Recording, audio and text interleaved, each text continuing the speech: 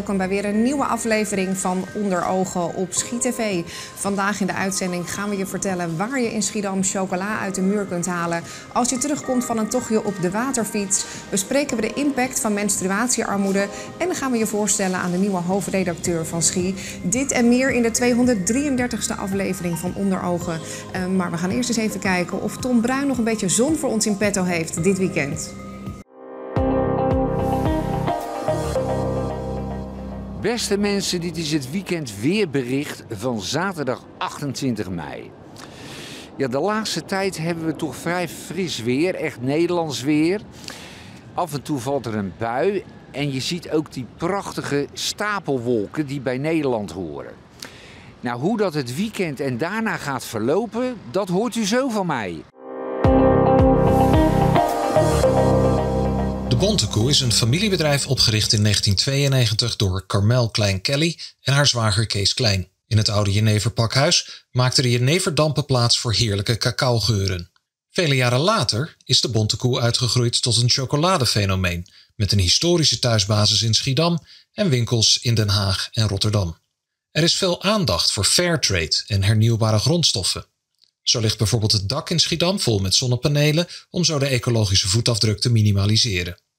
Onlangs opende men aan de Hoogstraat de eerste chocoladeautomatiek, waarmee de producten nu 24 uur per dag beschikbaar zijn voor iedereen met of zonder chocoladeverslaving.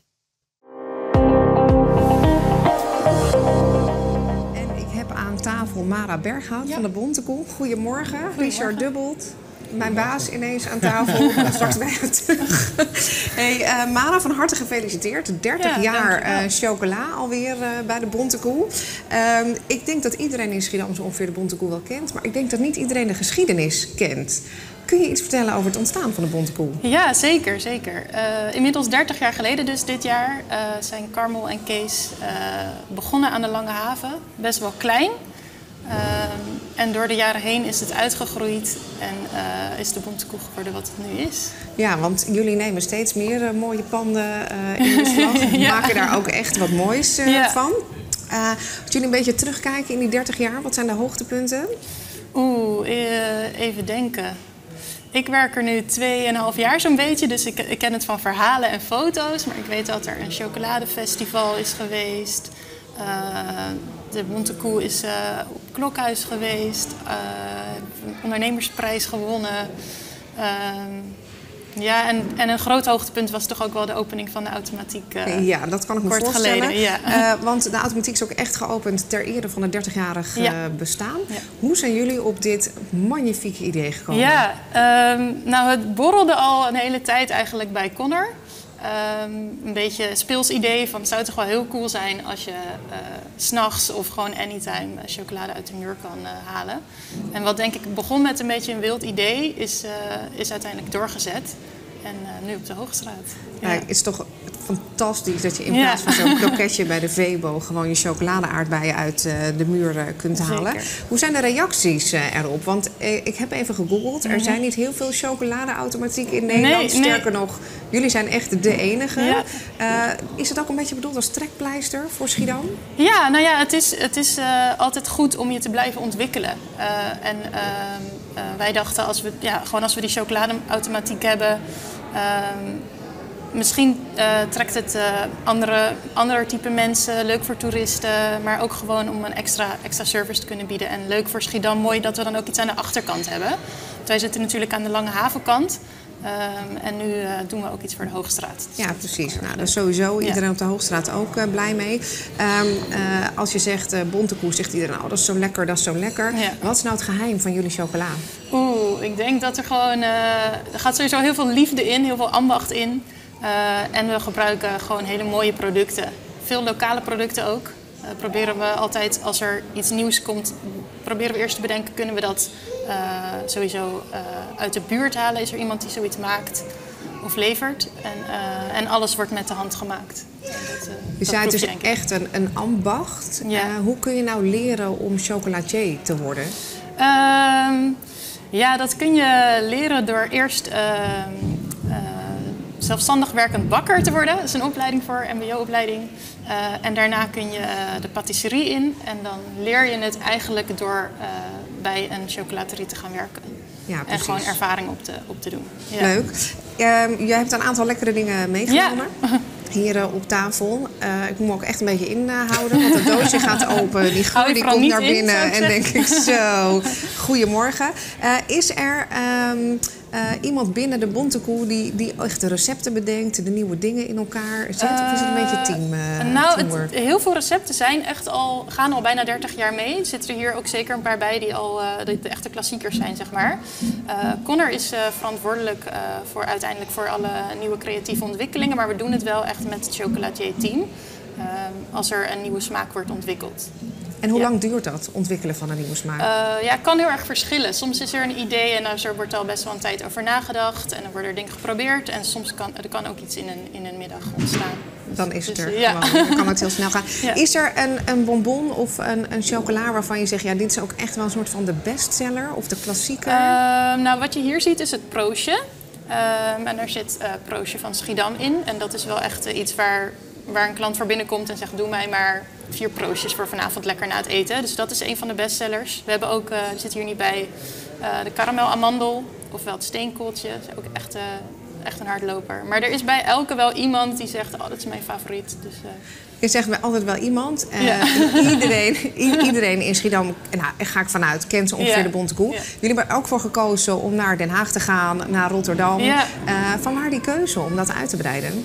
Ehm, Oeh, de precieze, dat weet ik eigenlijk niet, moet ik heel eerlijk zeggen. Maar ehm, ik denk gewoon om nog meer mensen eh, kennis te laten maken met de, chocolade, met de chocolade van de Bonte Koe. En ook eh, te blijven ontwikkelen, te, te, blijven groeien. We willen niet, niet de grootste chocolatier van Nederland worden, die, die ambitie is er niet. We willen gewoon mooie, goede chocolade maken, eerlijke chocolade. Ehm, en ja, en dan toch ook een beetje spreiden naar, naar andere plekken. Ja. Leuk. Hey, je zei, je had het net al over, eh, we maken gebruik van lokale producten. We willen eerlijke chocolade maken. Eh geeft ook al een beetje aan dat jullie echt wel bewust eh, je bedrijf aan het voeren zijn. Wat is daar de gedachte achter? Ehm, nou ja, we hebben. ehm, het, het, het komt vanuit, ik denk gewoon maatschappelijk en milieuoogpunt vinden we het belangrijk.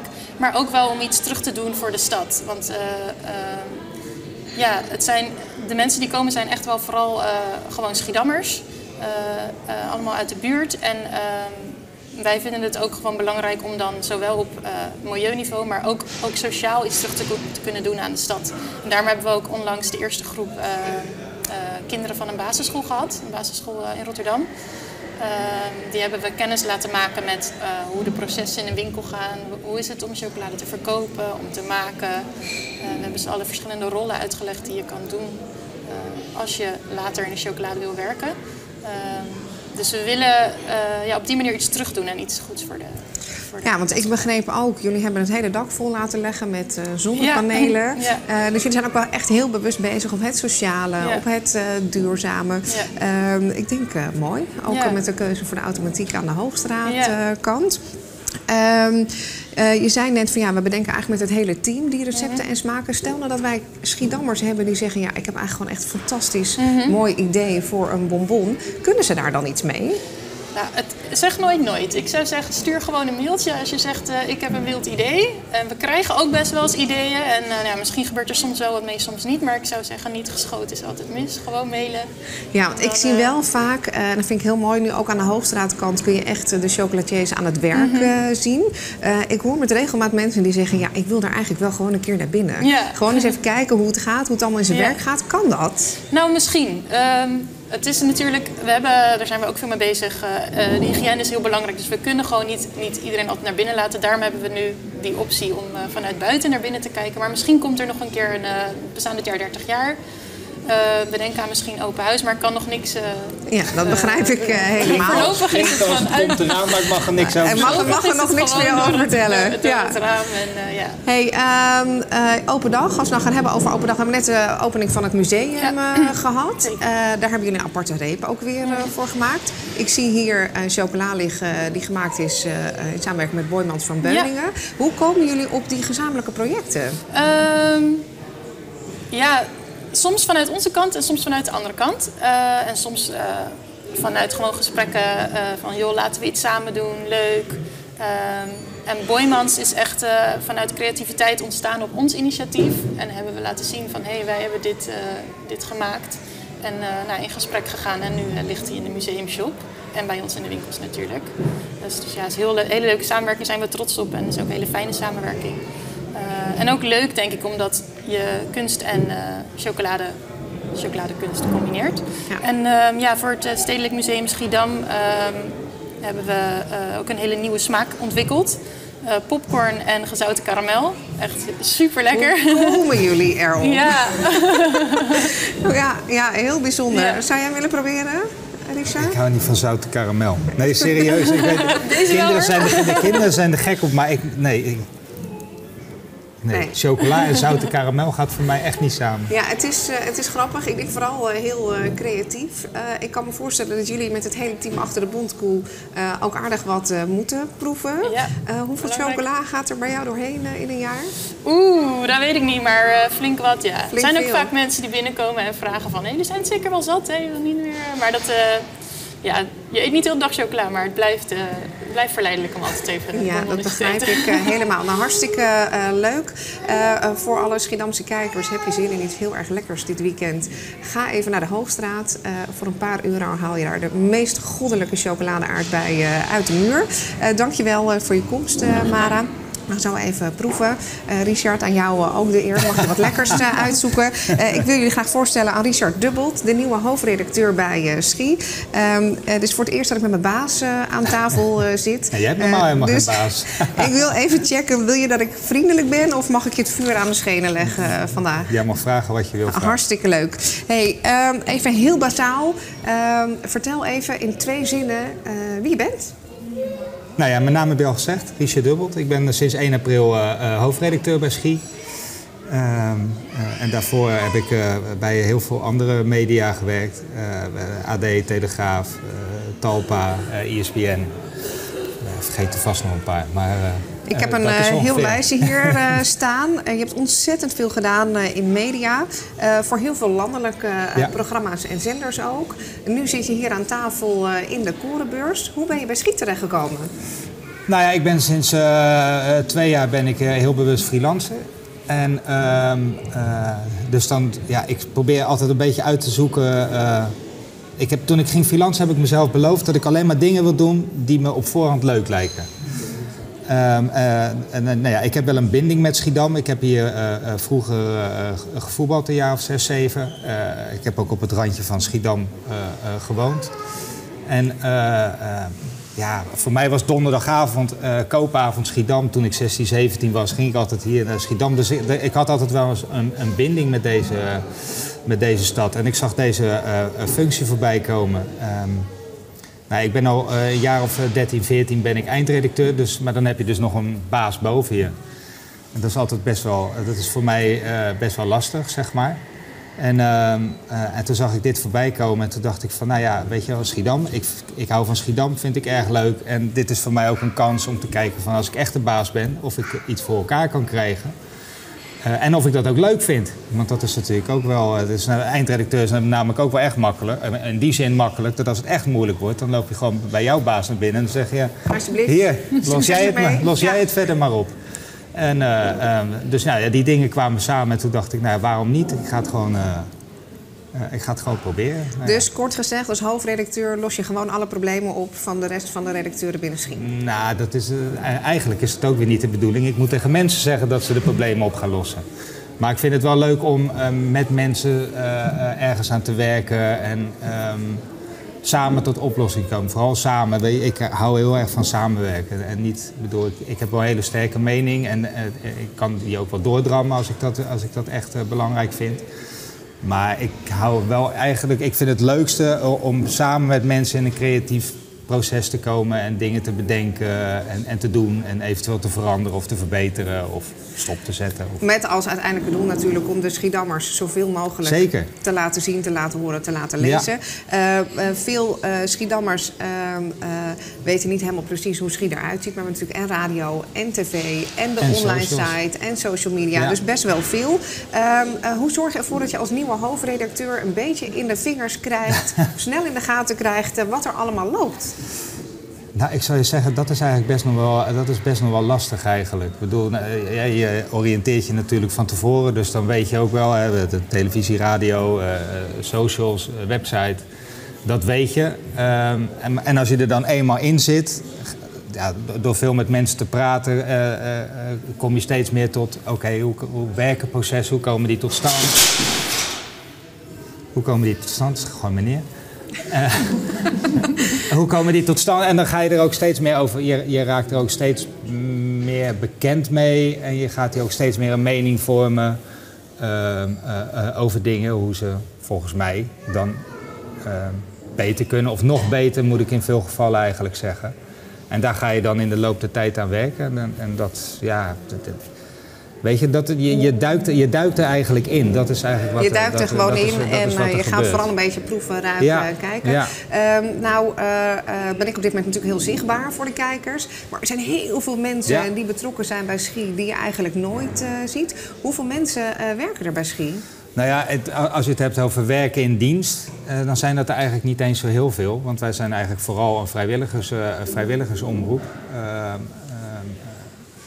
dus als je uiteindelijk praat over in dienst, praat je over een mannetje of vijf, zes die echt in dienst zijn bij Schie. Dan denk dat ik aan de hoge kans, want dan neem ik bijvoorbeeld al. Uh, wij hebben drie verslaggevers werken die via het project werken. Het project van de NOS en de regionale omroepen. Dus die zijn dan in dienst bij de NOS of bij, in dit bij ons geval bij Rijnmond. En worden dan zeg maar bij Schie gedetacheerd, waar ze dan verder opgeleid worden, vlieguren kunnen maken.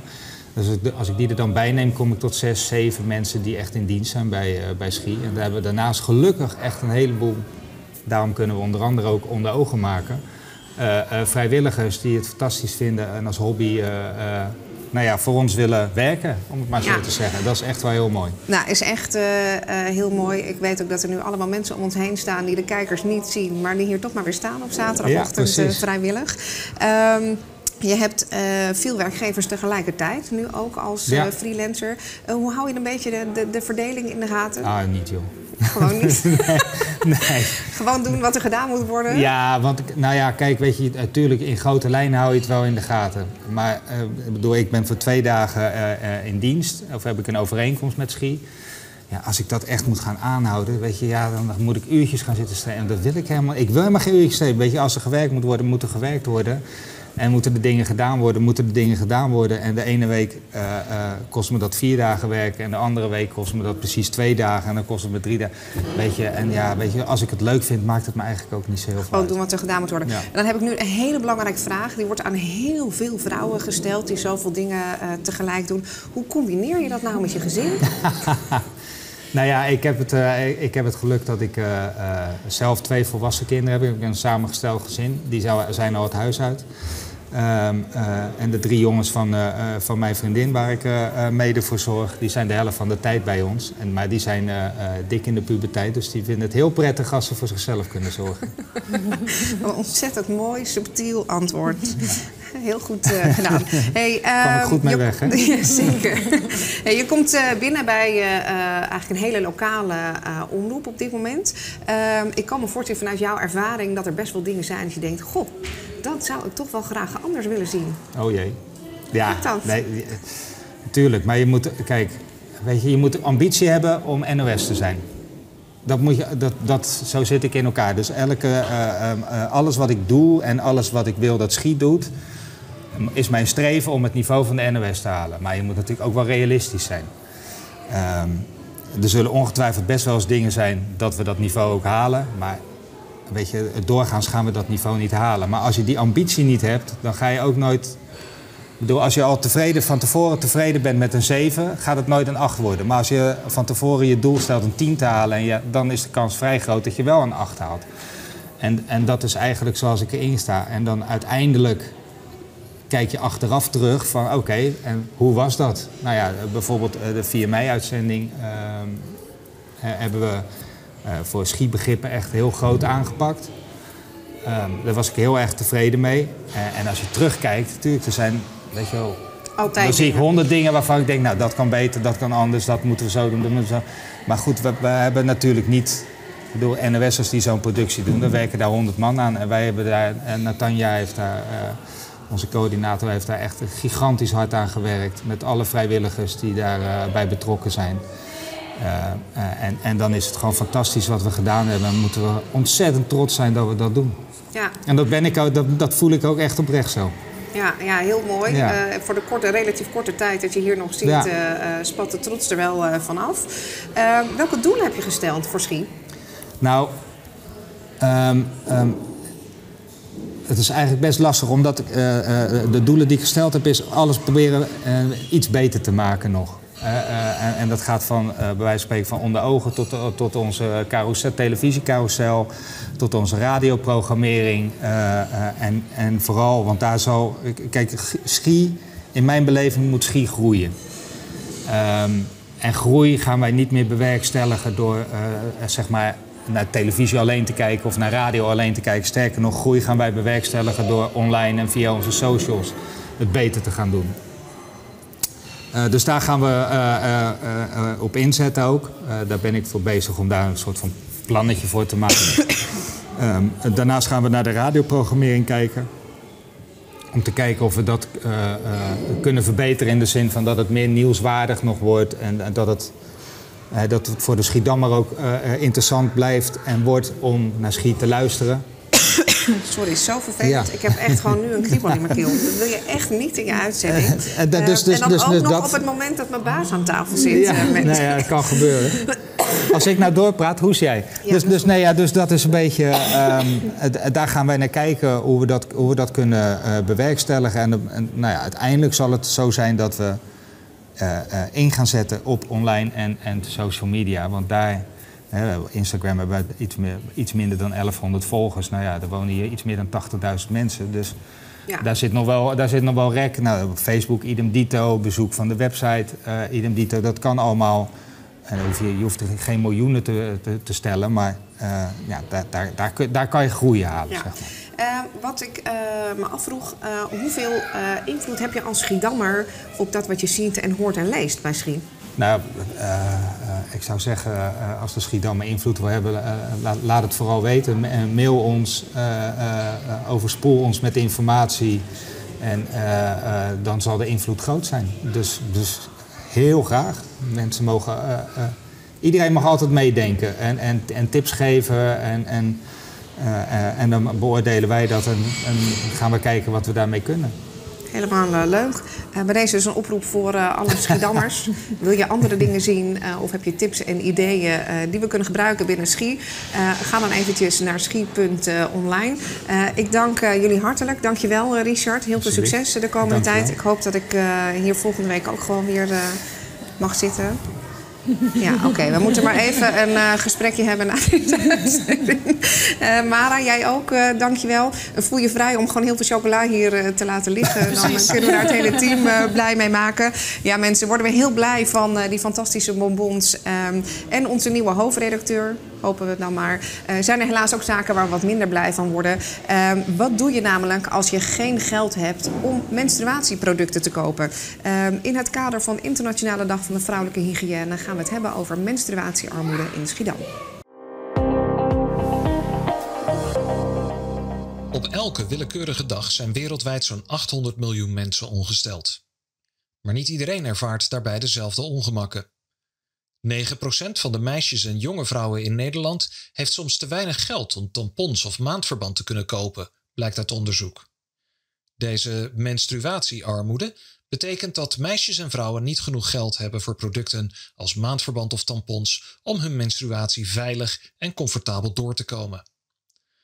Wat menstruatiearmoede anders maakt dan het grotere probleem van armoede is het taboe dat erop rust.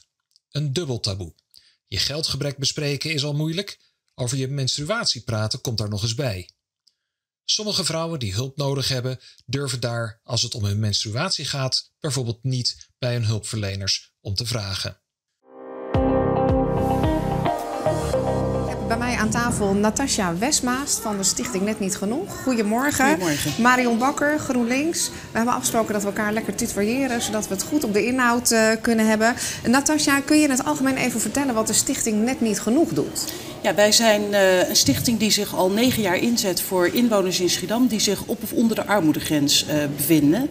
Dus dat zijn mensen die uh, met name bij de voedselbank ook komen. Maar je moet ook kijken naar de gezinnen die tussen wal en schip raken. Ehm, en die dus eigenlijk nergens voor in aanmerking komen. En voor die gezinnen zetten wij ons al jaren in. En hoeveel gezinnen zijn er die op die of net onder die armoedegrens vallen? Dat zijn er heel erg veel. Op dit moment zeggen ze in Schiedam dat 1 op de 10 uh, op de armoedegrens leeft, of daar, of daar zelfs onder. En daarvan zien wij ook nog maar weer het topje van de ijsberg. Dat natuurlijk niet iedereen de weg weet te vinden naar hulpverlening. Uh, en soms ook eigenlijk uit schaamte zich daar niet voor uh, gaat aanmelden om, om daar hulp uh, om hulp te vragen. Wat ontzettend heftig. 1 op de 10 is echt heel erg veel. Hoe kan het dat we in nou ja, zo'n ontwikkeld westers land... Uh, met al onze sociale voorzieningen... toch zoveel mensen hebben die op of onder die armoedegrens terechtkomen? Ja, weet je, het, is, het kan iedereen overkomen. We zeggen wel eens van, nou ja, dat zijn alleen maar de mensen... die op de bank zitten met een uitkering. Maar het kan iedereen overkomen. Um, als jij een heel leuk huis hebt en je raakt je baan kwijt... dan kun je onder de armoedegrens terechtkomen. Um, als jij arbeidsongeschikt raakt, kun je op de armoedegrens uh, terechtkomen. Dus het kan iedereen overkomen. En uh, ja, we weten allemaal, het leven wordt steeds duurder. De energie gaat omhoog, uh, de brandstoffen gaan omhoog, de huren gaan omhoog. Dus op een gegeven moment is, gewoon, is de grens bereikt. Ja, en dan kom je dus in zo'n val terecht. En dat is uh, heel vervelend. Ja, is heel heftig. Ja. Zowel voor natuurlijk de volwassenen, maar ook voor de kinderen Zeker. binnen zulke gezinnen. Hoeveel last hebben die kinderen daarvan? Uh, heel wisselend. Sommige ouders weten het heel erg goed weg te houden bij hun kinderen. Dus die uh, cijferen zichzelf eigenlijk weg om het maar goed te houden voor de kinderen. Uh, maar ja, als je weet dat 1 op de 10 gezinnen inderdaad of huishoudens op of onder die armoedegrens leeft, kun je uitrekenen dat als daar twee kinderen gemiddeld per gezin zijn, dat dat om heel veel gezinnen en uh, vooral ook kinderen gaat. Ja. Dus, Hoe proberen jullie ze te helpen? Uh, op verschillende manieren. Wij hebben sowieso één keer per maand hebben wij een uitgiftedag met kleding, speelgoed en woonartikelen. Dus dan kunnen de mensen bij ons daar spullen uh, uitzoeken. Uh, we verwijzen ook door naar hulpverlenende instanties. Denk aan een Humanitas, een wijkondersteuningsteam. Dus zo proberen we te helpen. We hebben elk jaar ook een schoenenactie. Waarbij we de kinderen in ieder geval van nieuwe schoenen voorzien. Zodat ze met warme voetjes de winter ingaan. Fantastisch. Want ja. we zien nog te vaak dat ze op zomerschoentjes uh, de winter ingaan. We zorgen dat er winterjassen zijn voor iedereen. En we zorgen dat Sinterklaas elk jaar langskomt uh, met nieuwe cadeautjes. Niet geheel dus, uh, onbelangrijk uh, Het natuurlijk. belangrijkste natuurlijk. Ja, precies, ja, ja, ja. Sinterklaas. um, jullie maken je op dit moment al eigenlijk al een hele poos hard voor menstruatiearmoede. kan even jullie uitleggen wat menstruatiearmoede is? Je moet je voorstellen dat het moment dat je geen geld hebt, dan, is er dus, uh, dan ga je keuzes maken van waar ga ik dan wel geld aan uitgeven. En menstruatiearmoede betekent eigenlijk dat je geen geld uitgeeft of geen geld hebt om menstruatieproducten te kopen. Dus dan hebben we het over maandverband, tampons, inlegkruisjes, uh, verzin het maar. Nou, op het moment dat daar geen geld voor is, dan hebben we het over menstruatiearmoede. En dat komt dus heel veel voor. En die vrouwen die blijven uh, thuis, melden zich ziek, gebruiken andere producten om zichzelf maar te beschermen. Dat is heel triest. Ja, is uh, zeker uh, triest. Uh, en ik, ik vind het heel heftig om te horen. ik was van de week in een kruidvat. Ik heb met het oog op deze uitzending gekeken. Wat kost het goedkoopste pak maandverband?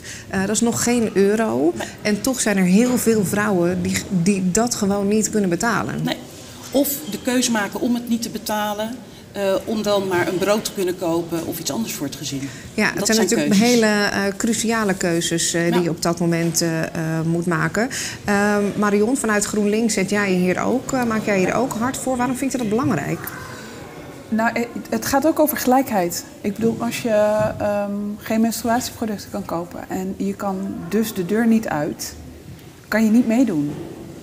En als je, ja, alle vrouwen moeten gewoon mee kunnen doen. Ja. Alle mensen die menstrueren. Ja, ja, ik begrijp je. Ja. Niet alleen vrouwen, alle mensen die menstrueren. Ja. um, uh, jullie zetten hiervoor in, ook in de politiek. Ja. Staat er ook weerstand bij andere partijen? Nou ja, als je het hebt over dingen gratis uitdelen, dan is er altijd weerstand er altijd. natuurlijk. ja, die begrijp ik uh, helemaal. Uh, wat willen jullie in Schiedam bereiken?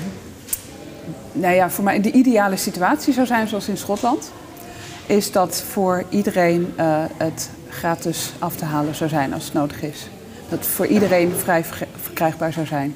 Ja, en waar, uh, waar wordt dat afgehaald? Is dat iets wat dan vanuit bijvoorbeeld een stichting zou moeten worden geregeld? Of gewoon in de winkel de kruidvat binnenlopen en het ophalen? Hoe moeten we dat zien? Ehm, in, nou ja, de- zoals ze het in Schotland geregeld hebben op het moment, is dat ze vanuit de regering de gemeentes hebben opgelegd dat die moeten zorgen dat het vrij verkrijgbaar is. En eh, daar kunnen mensen het ophalen in buurthuizen en in eh, ja, alle publieke locaties eigenlijk die je kan bedenken waar veel mensen komen. Ja. Daar, daar is dan gewoon een plek waar ze dat kunnen afhalen. Ja, Ehm Natasja, kunnen eh, eh, mensen nu bij jullie terecht? Ja. Hoe werkt dat? Nou, wij zijn officieel een MUP, zoals dat dan heet, een menstruatie-uitgiftepunt. En dat doen we samen met het Armoedefonds. En eh, de mensen die bij ons aangesloten zijn, die kunnen gewoon elke maand kunnen ze een tasje ophalen met menstruatieproducten. En dan kunnen ze kiezen of ze voor een maandverbandpakket gaan of een tamponpakket. En we hebben ook zelfs menstruatiecups voor de vrouwen die dat heel fijn vinden om te gebruiken. Ja, daar eh, eh, wilde ik het over hebben. Want de menstruatiecup is in principe natuurlijk heel duurzaam. Ja. Want die kun je gewoon blijven hergebruiken. Zit daar ook ergens een oplossing voor dit probleem? Dat zou een oplossing kunnen zijn, maar dan moet er wel wat gebeuren ook in de hoofden van vrouwen. Want ik weet niet hoe het met jou zit. Maar het moment dat ik denk aan een menstruatiecup, dan is dat nou niet iets waarvan ik zeg van hé hey, ja, dat ga ik even fijn gebruiken.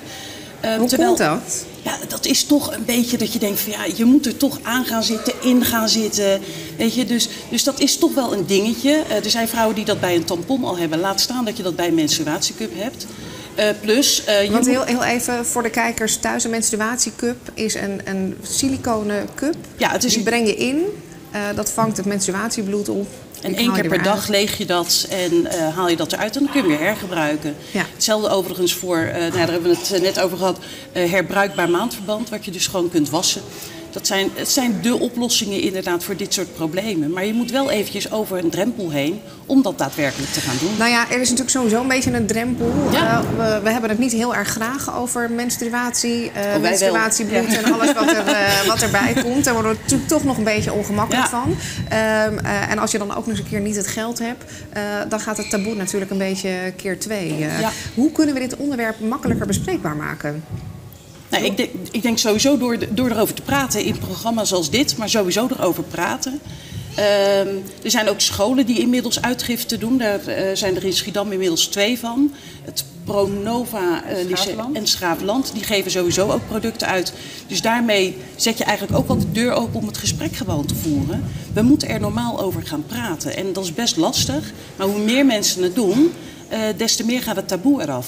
Ja, nou ja, ik denk dat dat eh, zeker mee eh, eh, helpt. En ik, ik denk ook het feit dat scholen eh, zich daarmee bemoeien natuurlijk ook gewoon heel erg fijn is. Ook die jongeren, eh, en dan vooral de, de jongere mensen die ongesteld worden, eh, maar eigenlijk alle jongeren, is het natuurlijk wel een beetje onderwerpen waar we een beetje ongemakkelijk eh, van worden. Vinden jullie ook echt dat scholen hier gewoon verplicht iets mee zouden moeten doen? Ja, gewoon over praten. Ik denk dat het. We hebben, we hebben seksuele voorlichting. We hebben, daar, dat mag van mij sowieso wel uitgebreid worden, omdat het heel beperkt is eigenlijk nog steeds.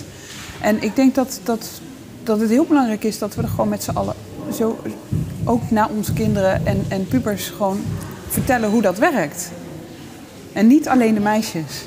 Nee. Niet alleen de meisjes. Ik zag eh, van week een eh, video ehm, waarin de eh, verslaggever bij een middelbare school langs ging. En dus vooral aan de jongens vroeg: wat vind je ervan als eh, ehm, mensen van jouw eigen leeftijd ongesteld zijn? En het was crushing, maar het was allemaal vies, jakkers, daar hoef ik niks mee. Ik vind het smerig. Eh, eigenlijk dat als eerste reactie. Ja. Eh, dus eh, dat je ook gewoon merkt, ja, die jongere generatie, eh, als we daar nou meteen iets aan doen, eh, dan, dan heeft dat natuurlijk veel langduriger eh, effect. Ja. ja. En heel eerlijk, het, het is ook jakkes en het is ook ba. Eh, maar het hoort er nou eenmaal bij. Dus we moeten het bespreekbaar maken. Dan is het veel minder jakkes en veel minder ba. Ja, Nou ja. maar het is maar bloed, hè? Daarom. nou ja, en dan denk ik, we moeten ook allemaal naar het toilet, weet je. Ja, dus ja. er zijn wel meer dingen eh bah als het aankomt op het menselijk lichaam. Ehm, ehm, als je nou op dit moment eh, kijkt eh, naar deze uitzending en je denkt, ja, ik, ik heb hulp nodig. eh, waar kun je dan het beste terecht? Eh, je kunt sowieso bij Stichting Net Niet Genoeg terecht. Ehm, Gewoon via uh, www.netnietgenoeg.nl. Daar kunnen de mensen uh, zich aanmelden. Mailtje sturen kan ook altijd of een berichtje via de social media. Dan kunnen we sowieso helpen. Uh, nou ja, die twee scholen die we net genoemd hebben, daar kunnen leerlingen sowieso terecht. Dus dat is ook heel fijn om te weten. Ja, en eigenlijk hoop ik dat er scholen zijn die nu kijken. en sportverenigingen, ook zo'n plek waar dat gewoon eigenlijk zou moeten. Die dan zeggen wij willen dat ook gaan doen. En ja, maak, het, maak het bespreekbaar. Ja. Maar sowieso, bij ons kun je sowieso terecht. Wij zorgen ervoor dat de menstruatieproducten zijn. En als ik nou als Schiedammer wil helpen, wat kan ik dan doen? Uh, eigenlijk uh, hetzelfde wat je ook kan doen met je kleding, speelgoed en woonartikelen. Doneer het op uh, een van de plekken. Bij ons kan dat op elke woensdag en donderdagavond kunnen mensen spullen komen brengen. En dan kan je dus ook maandverband en tampons langsbrengen. en zo zijn er misschien wel meer plekken die het inzamelen. Ik weet dat er in Nieuwland ook een plek is waar ze maandverband inzamelen. Dus zo zijn er meer. Je zei net, de Stichting Net Niet Genoeg is een MUP, een menstruatie-uitgiftepunt. Stel nou dat er kijkers zijn die zeggen, ik wil eigenlijk ook een menstruatie-uitgiftepunt worden. Kan dat dan? Dat kan, ja. Dat kan via het Armoedefonds. Uh, dan kunnen ze het Armoedefonds benaderen en zeggen, wij willen heel graag een menstruatie-uitgiftepunt worden. En dan kan dat geregeld worden. Want zo hebben de scholen het ook gedaan. Die doen dat ook via het Armoedefonds. Fantastisch. Nou, ontzettend bedankt uh, voor jullie komst, voor alle informatie. Ben je een Schiedammer en loop je ook aan tegen de uitdaging van menstruatiearmoede? Ga naar de website stichtingnetnietgenoeg.nl of is het net niet genoeg? Gewoon netnietgenoeg.nl. Netnietgenoeg.nl. Uh, dan kun je je daar aanmelden en je menstruatieproducten ophalen. Dank jullie wel uh, voor jullie komst. Heel belangrijk onderwerp. we gaan door naar het volgende. Want als je nou dit weekend langs die bonte koel bent geweest om die chocolade-aardbeien op te halen en denkt heel fijn, maar die calorieën moeten er ook weer af, dan stop je natuurlijk op de waterfiets. Schiedam is vanaf het water adembenemend mooi. Je kunt oude pakhuizen spotten, mooie oude gevels bekijken of gewoon lekker vanaf het water genieten van de historische binnenstad van Distillers District Schiedam. Ondernemers Ton Bijtenhoorn en Ruud van Ordennen startten vorig jaar met dat idee een waterfietsenverhuur als pilot. Dat de pilot succesvol was, zien we dit jaar met de terugkeer van de waterfietsen in de Schiedamse havens. Al starten ze dit jaar van een andere plek. Bij mij aan tafel eh, Ruud. Goedemorgen. Goedemorgen. Van onder andere Waterfiets uh, Schiedam. Ik heb ook Yusuf hier zitten van het Islamitisch Centrum Yildiz. Goedemorgen, we komen zo meteen uh, even bij je. Uh, we zagen jou net al in die mooie waterfiets samen met je compagnon Ton. Ja. Hoe zijn jullie op het idee gekomen om te starten met waterfietsen in Schiedam? Ja, dat is eigenlijk begonnen in de coronaperiode. we hebben twee horecazaken in Schiedam. Nou, zoals je weet, de horeca moest dicht met de corona. En toen dachten we van ja, kunnen we dan wat anders bedenken om, uh, om toch iets te, te verdienen. Nou, wij vinden Schiedam uh, fantastisch mooi vanaf het water. En uh, toen hebben we nagedacht, van, gaan we bootjes verhuren of wat gaan we doen? Nou, bootjes, dan gaan we al snel naar de, de elektrische bootjes toe, hè, want die zijn dan niet vervuilend. Uh, maar als je een bootje huurt, dan is Schiedam wel heel klein. Want ik denk dat je in 20 minuten bent uh, rondgevaren. Heb je het rondje wel gehad? Ja, dus wij ja. dachten aan, aan duurzaam, sportief. je zou het niet zeggen, maar wel sportief. voor de mensen. En toen dachten we, nou, dan gaan we waterfietsen uh, verhuren. En uh, zo zijn we op het idee gekomen. We hebben gezocht naar een, een gezellige waterfiets.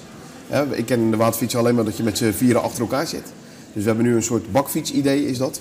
Dus je twee trappen en vier zitten gewoon op een bankje en oh, kunnen gezellig met elkaar. Echt een ideale verdeling. Dan kunnen er dus gewoon vier achterin zitten met een wijntje. En, ja, voorin met een wijntje ja. en een borrelplank. Die kan je dan weer bij ons bestellen bij de, bij de lunchroom.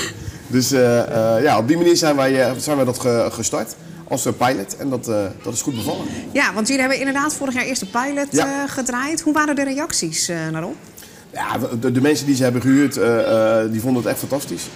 en we hadden twee partijen namelijk. De ene partij zei, leuk om te doen, dat waterfietsen, maar heb je geen elektrische? want het is best pittig. en de andere partij zei van, nee, het is echt superleuk. Wij, zeiden, wij zeiden altijd van, je moet ervan genieten. Dus dat betekent, trap gewoon rustig. Neem wat te eten, wat te drinken mee. Uh, leg ergens aan en geniet van de zon. Ja, dat is sowieso een, een mooie uitzicht in Schiedam. Waar kun je een beetje langs uh, fietsen? Welke, is er één route? Zijn er verschillende routes? Nee, je hebt, uh, je hebt in principe één route. Hè, want je, je kan in Schiedam één, één, rondje, één rondje varen. We, we, lagen toen bij het Sokkendragershuisje, na, naast de café Chic. En ja, dan komt dan de, de, lange haven af, buiten havenweg, richting de nieuwe haven. Dus dan kom je in de Gooise terecht. Uh, richting de Korte Haven en dan had je het rondje gemaakt. Daar deed je met de waterfiets ongeveer uh, zo 2,5 tot 3 uur over. Maar weet je, een stukje Lange Haven heen en weer is ook al uh, fantastisch mooi. Is ook al uh, heel Ja. erg leuk. Ja. Ehm, eh, hoe weten mensen de route? Is het gewoon simpelweg het water volgen en dan kom je vanzelf weer uit waar je moet zijn? Ja, want je, je kan geen andere kant op. Maar wat, wat we deden, we hadden eh, kaarten gehaald bij, eh bij eh S-Dam Partners. Eh, en dan konden we op de kaart aangeven van hoe ze, konden, hoe ze konden trappen. Maar in principe kan je geen andere kant op dan dat. Ja, precies. Van, en eh, anders kom je, de, moet, je, moet, je, moet je de brug door of de sluis door. Nou, er, geen enkele sluiswachter die zegt van dan gaan met je waterfietsen de nieuwe waterweg op. Ja, precies. Eh, en aan de andere kant ga je naar Delft en dan moet je geloof ik zeven bruggen door. Dus ja, dat, dat, dat gebeurt niet zo. Is ook geen optie. Nee. Hey, jullie lagen, eh, vertelde je net bij het zakkendragershuisje. Waarom zijn jullie nu eh, verplaatst? Eh, ja, daar heb ik mijn eigen, mijn eigen ideeën, ideeën, ideeën bij. Eh, toen we daar eh, gingen starten eh, waren de bewoners niet, niet blij. Die vonden de waterfietsen lelijk. Ja, snap ik. Ik heb ook nog nooit een hele mooie waterfiets gezien namelijk. Ehm, ze noemen het ook drijvende kliko's. Nou, daar hebben wij wel weer op ingespeeld door grijpertjes en de emmers aan te schaffen via de Irado trouwens. Zodat de kinderen afval uit het water konden halen. Nou, en dan kregen ze een soort bingo kaart mee en als ze een rijtje hadden konden ze bij ons weer een ijsje halen. Ehm, nou, dat, dat was echt wel goed bevallen, want we hebben denk ik in die korte periode de 150 tot een kleine 200 kilo afval uit het water gehaald. Wauw. Ehm, ja, de, de, de, letterlijke tekst die ik, eh, die ik, of ongeveer de letterlijke tekst die ik kreeg van de gemeente is dat ze de, de algemene belangen hebben afgewogen. En we dat, dat we daar niet meer terecht kunnen. Wat ze ook willen, eh, eh, is dat we een permanente, een permanente plek krijgen, zeg maar. Eh, eh, om, om vanuit daar allerlei wateractiviteiten te organiseren. Eh, dat snap ik. Want er zijn namelijk nog twee andere punten. Maar is dit niet ook een beetje typisch Schiedam? Zeker. Er komt iemand met een leuk idee Ja. en er is er altijd weer een handjevol, eh excuse my language, zeikers die gaan lopen zeuren. terwijl dit juist eigenlijk een beetje vooruitgang zou moeten zijn. Nou ja, weet je, je hoopt dan dat de gemeente daar ook in, in meewerkt. Bewoners klagen. Ja, bewoners hier in Schiedam die in het centrum wonen, krijg ik soms het idee van...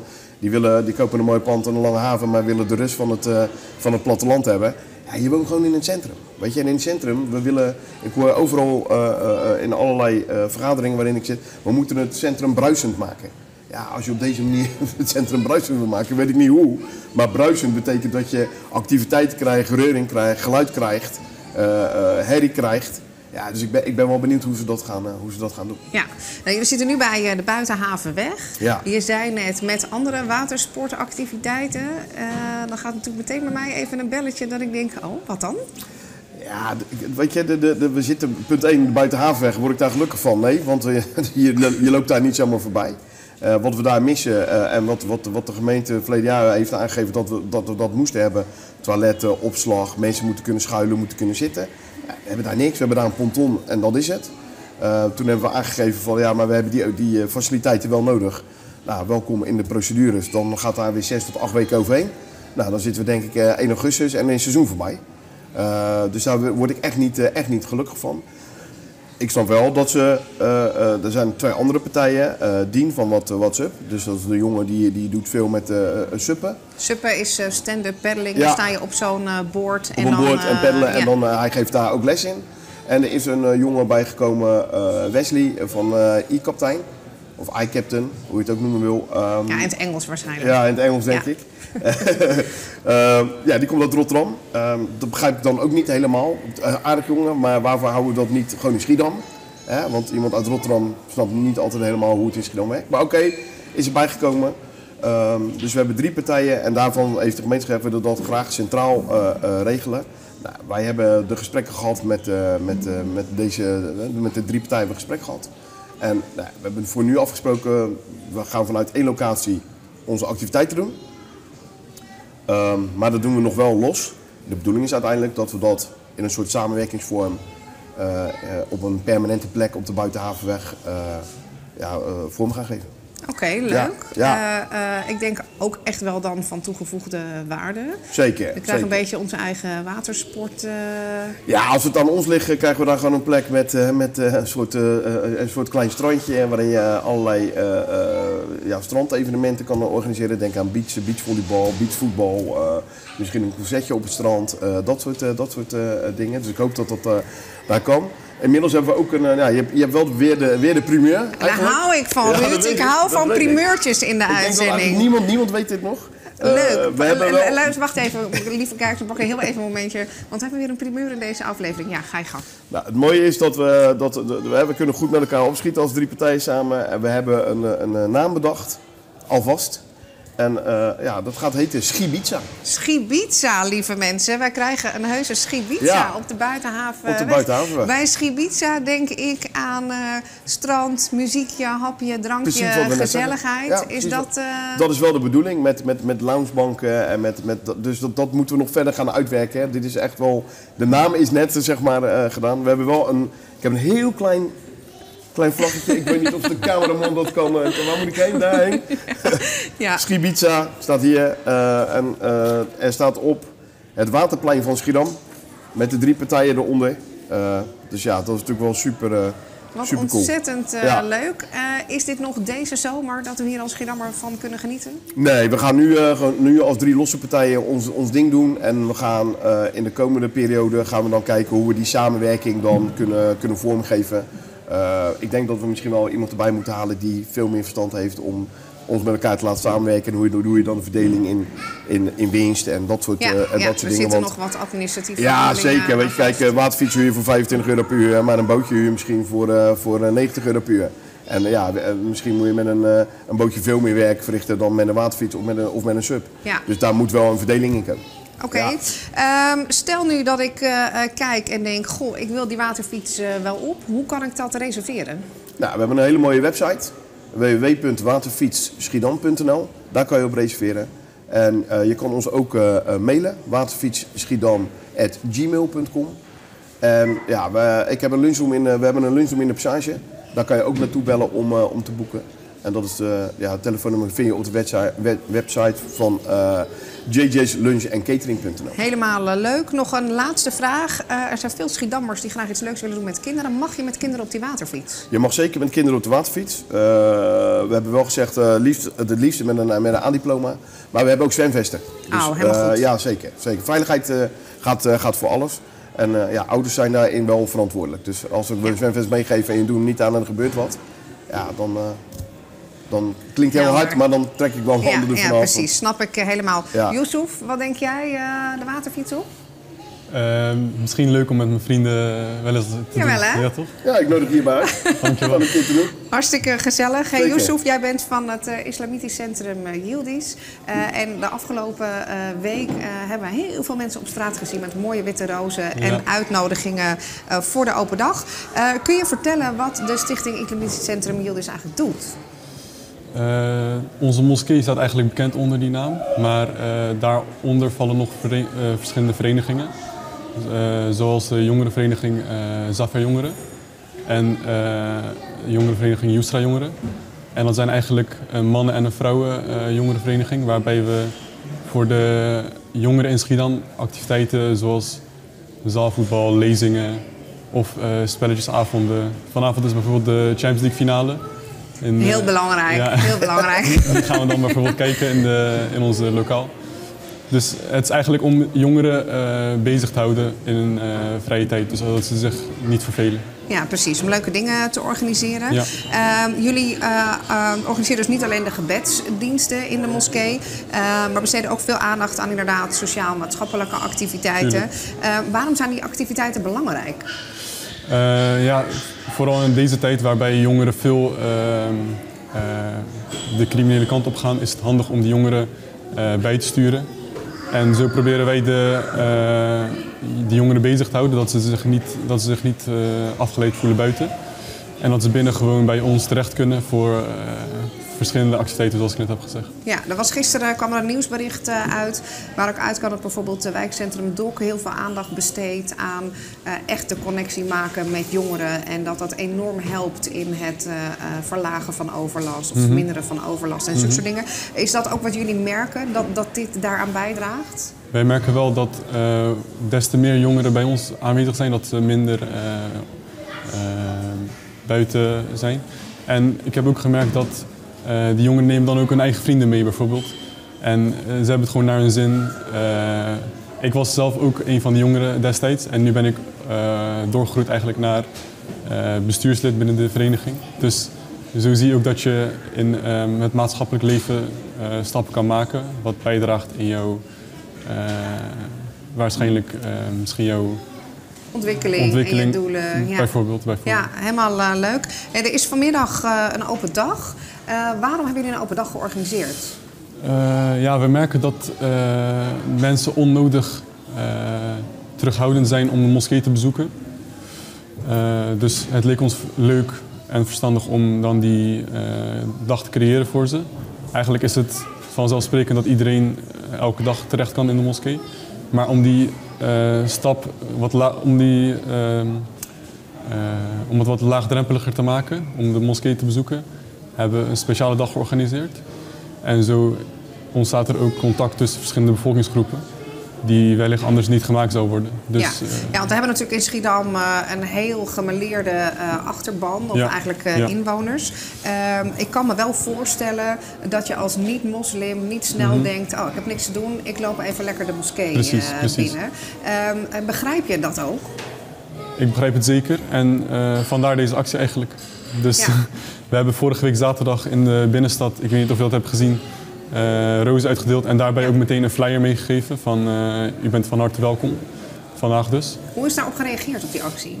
Eh, ik kreeg hele enthousiaste reacties. Eh, dat hebben we samen met de bestuursleden gedaan dus. Van Zafir en van Yusra. Dus eh Yusra zijn de vrouwen, eh, vrouwelijke voorzitters en Zafir zijn de mannelijke voorzitters van de moskee. Dat hebben we met z'n allen gedaan. Ik kreeg best wel enthousiaste reacties.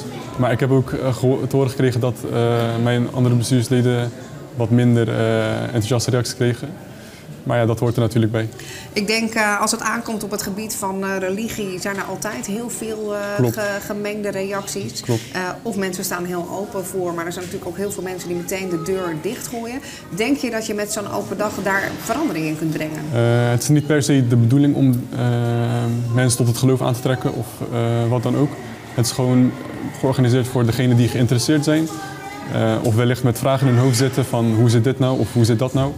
Dat we ze de mogelijkheid en de vrijheid geven om eh, bij ons terecht te komen. Dus het is niet per se om... eh, Ja, het heeft niet per se dat geen als religieuze insteek een doelen. religieuze Nee. insteek, maar vooral Nee. gewoon eh, de, de banden leggen. contact tussen ja. verschillende bevolkingsgroepen te eh, Ja. vermeerderen. Eh, Ruud, ben jij wel eens in de moskee geweest? Nee. Ga je vanmiddag? Je moet Dan nodig ik je bij deze ook eh, Ja, van maar, harte uit. vraag. ja, vanmiddag wordt het lastig, want ik moet eh, zo weer eh, werken in de lunchroom. Maar ja, ik, ik vraag me altijd af hoe dat, hoe dat dan zit hè, met zo'n eh, hoge drempel. Eh, we hadden het net even aan tafel ook, ook over. Ja. Ik loop ook niet zomaar een kerk in. Weet je, Ja. dus ik weet niet precies wat, het dan, wat me dan tegenhoudt. Misschien dan toch het, het feit dat je dan, eh, je zegt het net zelf, eh, ja, als je daar naar binnen stapt, eh, ben je gelijk misschien bang dat je wordt overvallen met alle Juist. religie Juist. en, eh, weet je, en de aantrekking van je moet dit of je moet dat. Juist. Ik weet niet precies waar het hem in, eh, waar het hem in zit. Maar ik kom graag een keer kijken. Ja. Oké, mooi. Dan eh, heet ik je van harte welkom. En wie weet, eh, stap je de moskee binnen en heb je een heel fijn gevoel. Dat, zo, eh, Nee, dat zou zomaar kunnen. Toch? En wie weet kunnen de jongeren die bij jou komen een buitenactiviteit doen, kunnen Tuurlijk, laten fietsen. Ehm, wat ik me afvroeg, stel nou dat eh, er een kerk is in Schiedam, Ja. een christelijke kerk, die zegt we gaan een open dag eh, doen. Zou je die ook bezoeken? Het lijkt me wel leuk. Ik heb wel eens een kerk bezocht ook in het verleden. Dus eh, het lijkt me wel leuk om te zien hoe ze dat regelen. Dus hoe het daar, daar binnen aan toe gaat. Maar eh, als, eh, Er moet daar wel een open dag als, zijn. als, ze, eh. ja, als ze me uitnodigen, dan wel. Ja, dat snap ik helemaal. Ehm, wat doen jullie vanmiddag met de open dag? Stel dat er nu Schiedammers kijken die Mhm. denken ik ga. Vanaf hoe laat is het? Vanaf half drie. Half drie begint de rondleiding. Dan heten we ze eigenlijk welkom in ons restaurant, want we hebben ook een restaurant in de moskee. Eh, daarbij gaan we naar de conferentiezaal. Bezoeken we onder andere de kapper en de wassingruimte van de moskee. Eh, Het is eigenlijk een rondleiding door alle lokalen. Eh, ook waar de leerlingen les krijgen in het weekend. Weekendschool heet dat dan. Vanuit daar gaan we naar de, dat heet in het Turks masjid. Dus dat is eigenlijk een ruimte waarin wij het gebed verrichten. En daar zullen de gasten dan vrij zijn om eh, aan te raken soort van en Ja. te luisteren naar het gebedsomroep. En dan sluiten we de dag af met een eh, hapje en drankje. Oké, nou Dus dat hapje en drankje klinkt sowieso wel heel goed, eh, moet ik zeggen.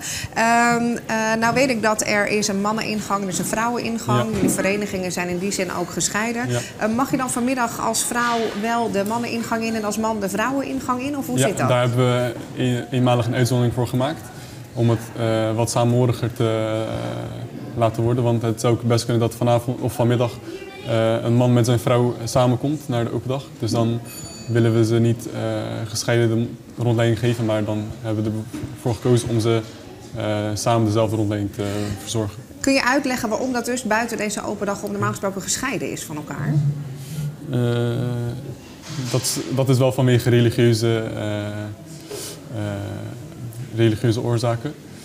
Mm, het is eh, vanaf de tijd van onze profeet al zo dat eh, man en vrouw in de moskee gescheiden zijn. En dan hebben we, ik zal het nu even een traditie noemen, maar eh, het is zo dat de mannen en de vrouw elkaar dan niet kunnen zien tijdens het gebed. Wat kan veroorzaken dat je misschien aantrekkingskracht voelt. En waardoor je niet met het geloof bezig bent, maar met eh Ja, wereldse precies. zaken. Dus vooral bedoeld om gewoon echt de focus te Juist, houden op het op- gebed en het beleiden van eh, religie.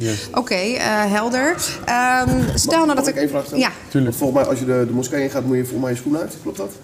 Eh, ja, als je het gebedsruimte, als je naar het gebedsruimte gaat wel, maar daarbuiten, dus binnen het restaurant of kapper of wassingruimte of uh, jongerenlokaal en dergelijke, kan je gewoon met je. Oké, dus als mensen vanmiddag eh, de open dag ingaan, dan kan je gewoon je schoenen aanhouden. Zeg maar. Eh, behalve als je de tot, Tot tot, tot het gebedsruimte. En dan, moet, ja. dan moeten ze echt uit. Voor de hygiëne is dat. Oké, duidelijk. ja. Ja, ik moet zeggen dat ik zulke soort dingen wel echt ehm, eh, mooie elementen vind binnen jullie tradities. Eh, dat je inderdaad bepaalde dingen gewoon heel zuiver en, Mhm. en eh, eh, schoon probeert te houden. Eh, ik, ik heb daar wel wat mee, moet ik zeggen. Ehm, stel nou dat de kerk zijn die zegt, ik wil vanmiddag komen. Moeten die zich eerst aanmelden of kunnen ze gewoon binnenkomen nee, ze lopen? kunnen gewoon binnenkomen lopen. Nou, helemaal goed. Heb je voor de zekerheid nog een keer het adres? Dr. Schaapmansingel 5 eh vindt zich vlak naast eh metrostation eh Troelstralaan in eh, Schiedam-Nieuwland. Ja, je kunt er bijna niet omheen als je richting eh, dat mooie park Ja. eh, loopt. Hey, super fijn, dank jullie wel eh, allebei. Eh, de Schiedamse kijker, bedankt voor het kijken. Je kunt een fantastisch weekend tegemoet. Haal lekker je chocolade-aardbeien uit de muur. Boek de waterfiets of ga naar de open dag van het Islamitisch Centrum. Namens het hele team van Onder Ogen dank ik jullie hartelijk voor het kijken. We gaan naar dat lange weekend weerbericht van Tom Bruin. En we wensen jullie een heel fijn weekend.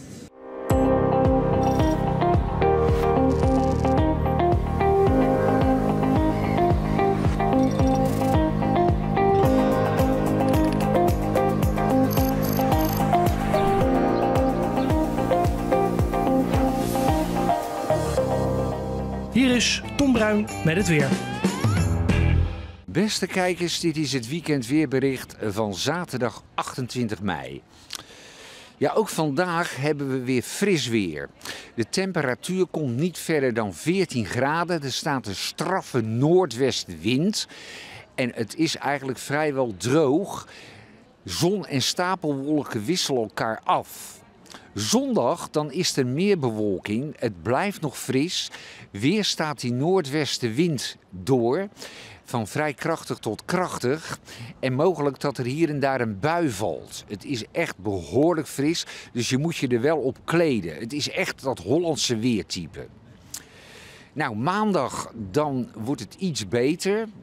Het wordt zo'n 17 graden. Mogelijk dat er nog een bui valt. Ja, en de vooruitzichten dan. Nou, na maandag dan krijgen we beter weer. De temperatuur stijgt geleidelijk naar 18 tot 19 graden. Het is een aantal dagen droog en er komt veel meer zon bij. Maar dan kan het op donderdag weer onweren, want die temperatuur die kan al, al in rap tempo oplopen tussen de 23 en 25 graden. Ja, en dan ontstaat er weer onweer. Beste mensen, dit was het weekendweerbericht van dit weekeinde.